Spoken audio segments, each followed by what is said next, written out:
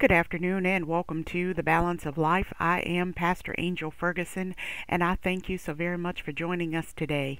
Truly, this is the day that the Lord has made. We will rejoice and be glad in it. It is always our honor and our pleasure to come and spend some time with you in the Word of God, and I am so grateful for sharing our thoughts through words of encouragement and through Scripture, guided by the Holy Spirit on this December the 20th, 2022. Over the next few days, we are going to talk about decision makers. That's right, we're going to talk about decision makers. We're going to talk to those who make decisions and the things that we need to put as priority as making decisions on. And so, decision makers, what's going to drive the decision that you make? At this time of year, many are going over their year. We are coming to a close of 2022. I believe that there is so much to be done because God is still in charge. And so before you count out, before you say, hey, you know what, I am done with this year, Take into an account there is nothing that God can do. God can do all things if we allow Him to. And we must remember it is all according to His time, all according to His purpose, all according to His plans. And so, listen, before you make the next decision, take the time to talk to God.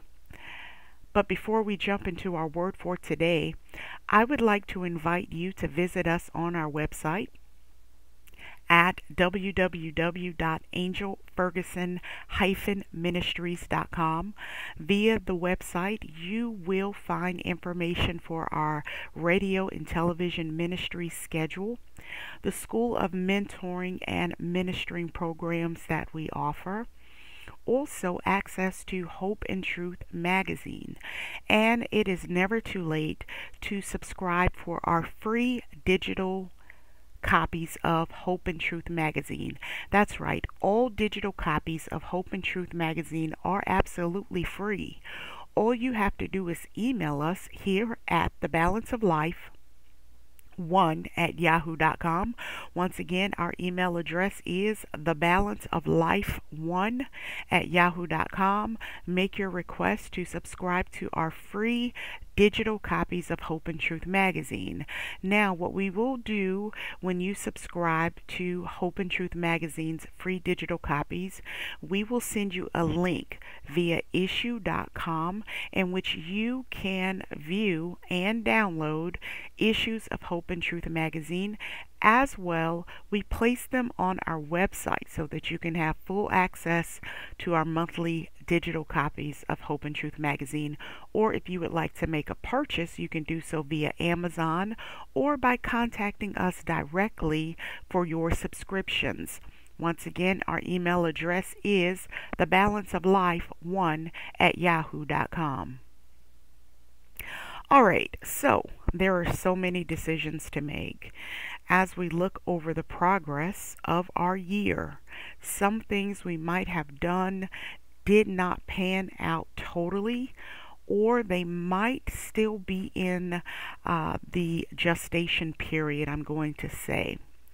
Oftentimes we plant seeds, and sometimes we look for a quick turnaround.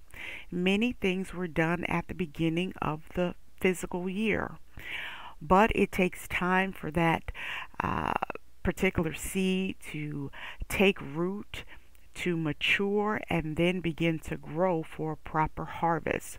So don't pluck the seed too fast. Uh, also, uh, make sure that the timing is right. Some things that were planted whether it was in our personal lives, business, or ministry, the harvest time isn't for this particular year. The harvest time could be for next year. Remember when it comes to any area, ministry, business, and personal. It really takes time. I believe uh, it takes about three years, three to five years, before you begin to see a real uh, profit I'm going to say it that way, or return on your investment uh, before you really begin to see any growth or maturing in those areas. So don't give up. Don't think that the things that you did throughout this year that they were useless.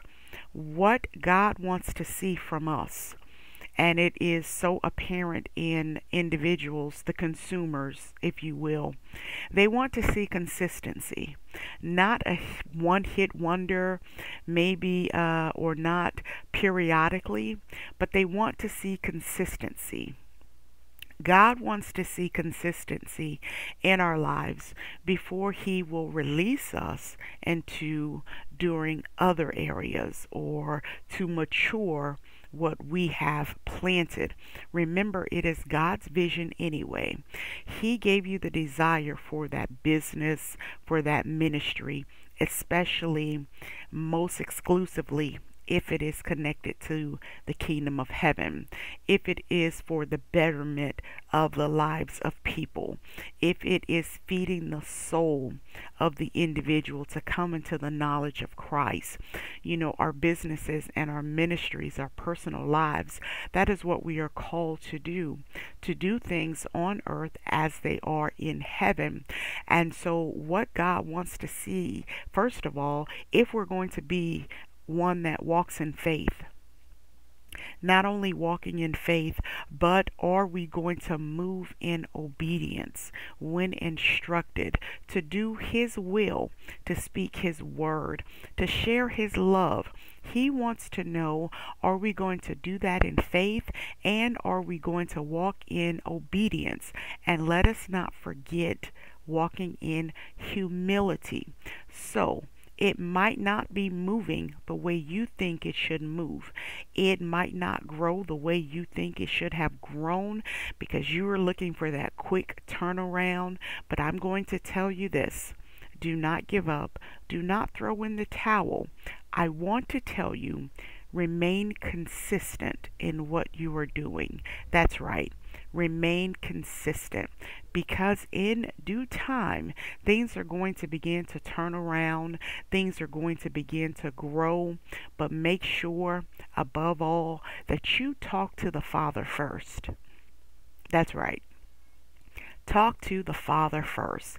Talk to god talk to god Make sure that you schedule those appointments with Him. Uh, sit into the presence of the Lord. Listen to what He has to say. You know, we might have our own ideas of the way we think things should go. And when it is given to us by God, when He has invited us to do something on earth, for the kingdom of heaven keep in mind there is a certain way that He wants it done. And so, in order to find out how He wants it done, we must spend some time getting godly counsel, which means prayer, prayer, prayer. That's right spending some time in prayer, spending some time talking to the Lord, asking Him what is His plan. What is it that He wants to accomplish? How does He want you to do it? What are the instructions? What are the tools that you need to fulfill His plans on earth as it is in heaven. And when we, by faith, move in faith and become obedient to what He has spoken unto us, then we are fulfilling the scriptures where He says, one plants, one waters, but God gives the increase. And so, in your time of decision making, make sure that you consult God first. Uh huh.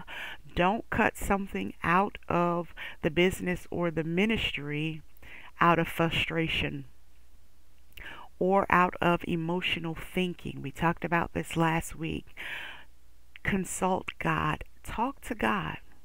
And if He has not instructed you to, to change course, Stay on the path that you are on. Make sure that you are perfecting where you are. grow under maturity. Take a look at the things that are weak. We all have weak areas. No system is perfect. Listen, here's one thing that I have come to learn and to realize, and I have to thank God for the Holy Spirit for reminding me, me of this plenty of times. Seasons change, and one method might work in one season, but as I enter into a new season, I might have to change methods. I might have to shift some things around, and I'm learning that that is okay. You know what?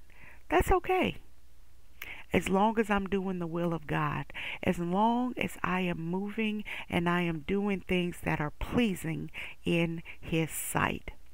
When I come back, I want to share something with you from one of the books I have. You know, I absolutely love books.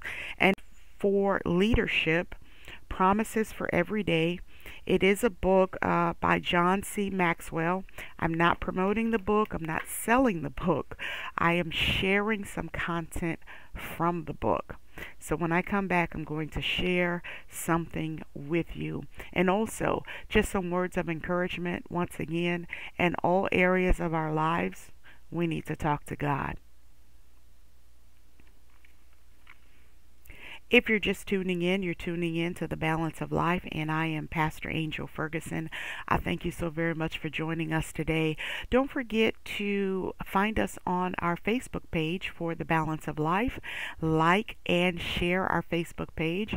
We go in daily to share words of encouragement through scriptures as well as inspiration from the Holy Spirit. And we try and keep you up to date with what we're going to share on the air. It's something that we're going to uh, move in as the Holy Spirit leads and guides us, something that I really like.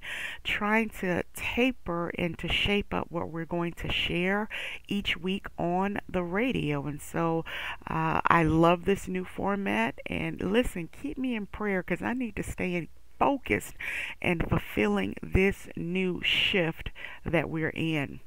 All right. So I want to read something to you from Leadership Promises for Every Day. It's a daily devotional, uh, great book for those who are in uh, any kind of leadership capacity, whether it is in business or in ministry. And I think it's also in our personal lives. It says, meeting a God sized challenge. And it happened when all our enemies heard of it, and all the nations around us saw these things, that they were very disheartened in their own eyes, for they perceived that this work was done by our God. That's Nehemiah 6 and 16. Commitment comes before anything else in a leader's life. Because Nehemiah had it and drew it out of others, the people finished the wall in 53 days despite much adversity. So, decision makers, if you are going to complete what God has called you to do, you must learn to work during adversity you must begin to focus on the vision, stay in tune with God, and work through trials and tribulations, hiccups, snags, snares, hindrances. Work through those things. Do not give up, but continue to move forward and so Nehemiah is a great example. I love the teaching of Nehemiah and his leadership skills. And so in your spare time, if you are one who are in a leadership skill, spend some time in the book of Nehemiah and you will become amazed as the Holy Spirit reveals unto you his leadership skills, how he delegated to individuals according to their ability to do a job. That is another area where we're going to talk about decision makers. If you are one who have a team and you need to delegate responsibilities, make sure that it is according to their ability to do the job. All right. So it says their great accomplishment so thrilled Nehemiah that he wrote, When all our enemies heard of it, and all the nations around us saw these things, they were disheartened in their own eyes, for they perceived that this work was done by our God. When we stay focused and do the will and work the way God wants us to do it, the enemy is confused. Even those who throw snags and snares and negative words and actions towards the work that you were called to do, they will be confused. Why? Because you're not focused on the negativity thrown your way. You are utilizing scripture. Second Corinthians, the 10th chapter around the fifth verse, casting down those thoughts and high imaginations that exalt itself against the knowledge of God. And so when those things come up against the work that you are doing, yes, the enemy is going to use an individual through actions, through words, uh, to try and hinder you, to try and block you, to uh, to try and discourage you, to, to you know what, to just say things against you, against the work. Remember, no weapon formed against you shall prosper. And every tongue, every word that rises up against you in judgment, thou shalt condemn.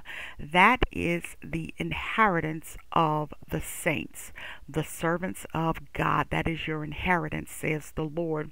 And so your enemy will be confused because, in spite of what he hurls your way, in spite of the, the negative uh, words and accusations and whatever whatever he tries to put towards to tearing you down, to stop the work that God has given you to do, you remain focused and consistent.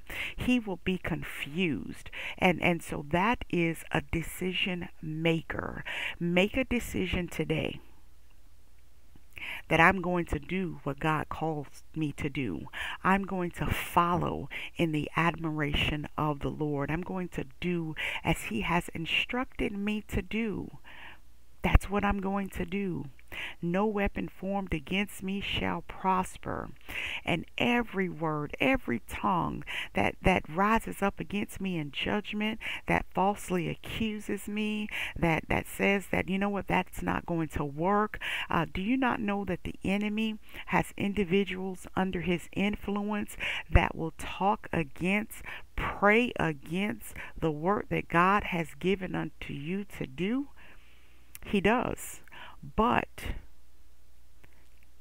who did God give the assignment to? Who did God call to do the work that you are doing? And whose hands did He bless to do that particular work? Yours. Remember that. That's why it is important to talk to God on a daily basis. Stay in tune with Him. He's going to reveal unto you so much. He's going to instruct you how to move. He's going to instruct you sometimes to just be quiet, get to work.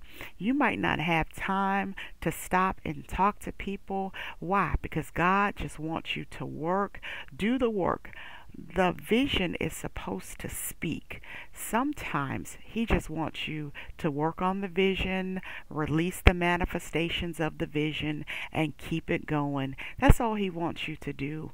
And so we must be obedient to that that too will confuse the enemy. And so, in this three day series, Decision Makers, we're going to cover quite a bit. Like I said, we're going to look at Nehemiah and his ability to delegate even when listen, if you did not know how to do the job, if that wasn't your craft, you didn't get the job. And so it's important if you are a leader of an organization, whether it's business or ministry, delegate according to the ability of the individual. Another area that we're going to really hone in on is working through adversity. That's right, working through adversity. It's time to make some great decisions for your life life, for the ministry, for the business, but the only way to make the right decision, and I know that's a big question for many, how do I know how to make the right decision? Listen, the way to make the right decision is by consulting God and waiting for a response. Not only should you wait for a response, but once you receive the response, receive it by faith and be obedient to what he is saying unto you. So let's read a little bit further on this meeting a God sized challenge as we are releasing a new series decision makers. Leaders who complete a task possess these characteristics. So listen to these characteristics because they are absolutely wonderful. Compelling purpose. They make a great commitment to a great cause. As a decision maker, you must decide to make a great commitment because what you are doing is a great cause. It is for the kingdom of heaven. So make a decision to make a great commitment. This is nothing that you can pick up and and drop and work periodically and think about every now and then. No. If you are at the realm and you are the leader of an organization, the vision has been placed in you. You must make a decision to make a great commitment. That means when you don't feel like it, you still have to go hard. Feeling good, feeling bad, snowing outside, rainy, sunny, whatever it may be, you still have to make that commitment every single day. I believe that when it comes to the vision, it must be touched every single day. A portion of the vision must be touched every single day. Yes, take your time, get plenty of rest in between, especially take time for family and personal obligations. But there is balance in all of that. Touch a portion of the vision every day, even if that portion is simply prayer. And I say simply prayer, but prayer is the most important component of the vision. Make sure that you consult God every single day and allow Him through the Holy Spirit on what portion of the vision you're supposed to touch that particular day. But the number one characteristic of a leader making decisions. Being the decision maker is making sure that you are ready to make a great commitment because what you're about to take on is a great cause. Another area of making decisions is having a clear perspective. They don't let fear cloud their view of the future. And so, as the leader, you cannot let fear cloud your view of the f- future. That is making decisions. Fear cannot cloud your decision making power. Being one with the authority to make decisions is just that. You have been given power and a specific authority in an area. Now, once we get over to delegation as we speak on Nehemiah, he delegated individuals, which means he gave them some authority to do. Once you find out the ability, then you must release, delinquish, appoint, delegate, and you can't be scared about it. You cannot have fear about it. We cannot police, and I'm using that word uh, so carefully. We can't police and hover over people that we delegate a job to. When God leads you and appoints you to, you know, delegate something to an individual, let them work. God told you to do it. And so you cannot allow fear to cloud your judgment or your view of the future. God has everything in control. And if you're going to be the leader over this thing, trust the process of God. trust it. Once you make a decision based off what God told you to do, then you should be at a place of peace, waiting on the next set of instructions. Once again, the most important thing about being a leader and having that decision making power is being continual in prayer. The leader prays about everything and gains God's favor. That's right. You pray about everything and you gain God's favor. So always never cease to pray. Scripture tells us to pray without ceasing. That's right. Have prayer on your mind morning, noon, and night all through the day in between those meetings in between doing those assignments and and delegating and talking to people pray pray before you go pray while you're on your way and pray while you are there pray always always, and you will gain God's favor. Why are you gaining His favor? Because you are putting your trust totally in Him. You are depending solely on God. Is that where our trust needs to be? Yes. Is that where we need to depend? Yes. Solely on God. Remember, it is He that have made us and not we ourselves. We are the sheep of His pasture.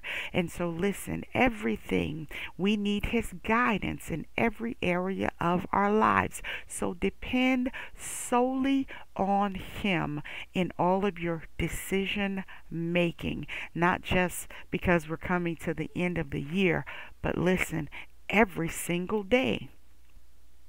I need Him to help me make decisions. Consult Him, and through His counsel, through His knowledge, His wisdom, and His understanding, I will make the right decisions. Now, let me say this before we go to the last section. Will I make mistakes? Yes. Am I perfect? No. At times, will I miss God? Absolutely. But to God be the glory, there is an opportunity for repentance, to ask for forgiveness, to ask Him to, to forgive us. We got off track. It will happen, but do not beat yourself over the head. Do not allow that to stop you. Do not allow that to hinder you. Once you realize you have made the wrong decision, repent. Ask God to forgive you and ask the Holy Spirit to guide you to get back on the right track. I'm telling you, you got this. You got this. All right, let's move to the next section. Courageous persistence. Decision makers are persistent and you are courageous because guess what? What you're about to do, when God tells you to do it, it is not the way we would do it or the way others think we ought to do it. And so the way that you're going to move when God tells you to is is unexpected and sometimes you're really going to catch yourself by surprise and say wait a minute whoa that's not even something I would do. But remember, his ways are not our ways, and his thoughts are not our thoughts, for his ways are as high as the heavens are above the earth. And so be persistent, be courageous, and do what God would call you to do. Do it his way. The the leader moves ahead despite the odds. If you're facing a God sized challenge, cultivate these characteristics to give yourself the best opportunity for success. Remember, you can do all things through Christ Jesus who strengthens you.